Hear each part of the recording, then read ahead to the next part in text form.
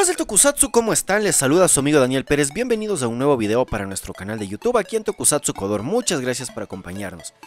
Y hoy vamos a hablar de lo que muchos consideramos como Tokusatsu americano. Me refiero por supuesto a las producciones hechas en Hollywood, en Estados Unidos, y hoy quiero hablarles de una película pues que tiene muchas muchas raíces con el Tokusatsu. Me refiero a la próxima película secuela de Godzilla vs. Kong. Como ustedes recordarán, esta película se estrenó el año pasado y creo que fue uno de los primeros grandes éxitos de taquilla después de la pandemia y de la crisis sanitaria. Eh, esta película pues fue realmente muy buena, nos cumplió lo que nos prometió, nos dio a Godzilla y a King Kong rompiéndose las muelas durante toda la película y con un ganador claro que como todos sabemos fue Godzilla porque pues es el rey de los monstruos y es hasta ahora el monstruo más poderoso que existe, por eso existe también eh, la película de Godzilla, el rey de los monstruos.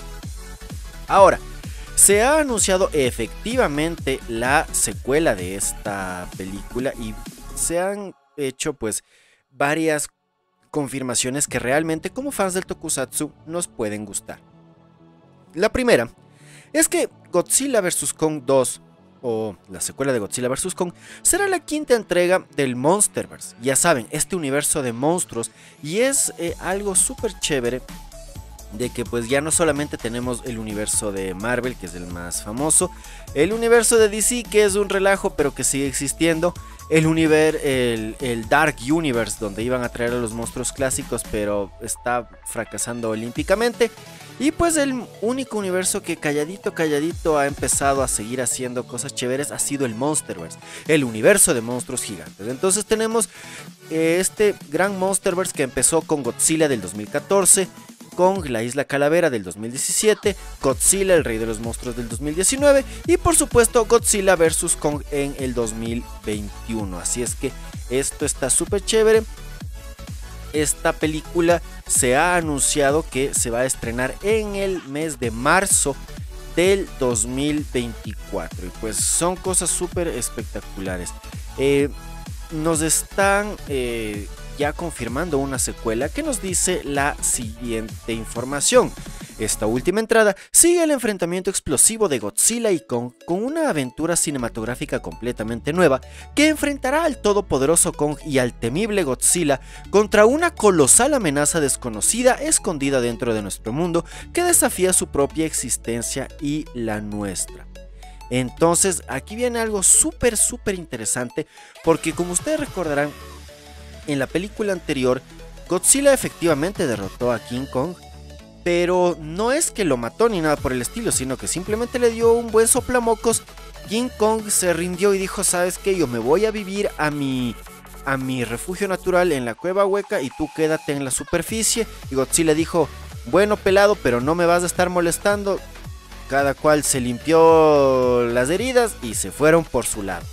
Le recuerdo que también King Kong ahora tiene un hacha especial con la que puede casi derrotar a Godzilla y entre los dos al final hicieron un team up para vencer al poderoso Mecha Godzilla.